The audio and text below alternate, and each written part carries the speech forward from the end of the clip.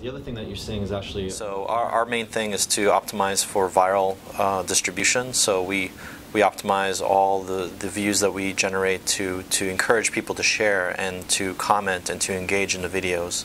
So that's something that we do differently. We also have our machine learning recommendation engine, which is very different from a lot of other companies.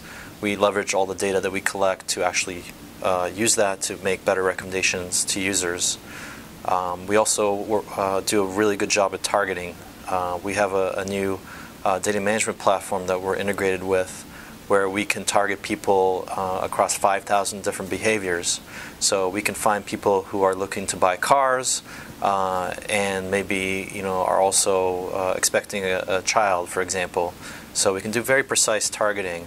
Um, so that's a nice technology uh, advantage um, doing all that. Um, but you know, I think the fundamental thing about this company is not only the technology, but the people. The people here are just like amazingly smart, fun, hardworking, and you know want to do the amazing things. And that's where this product came from.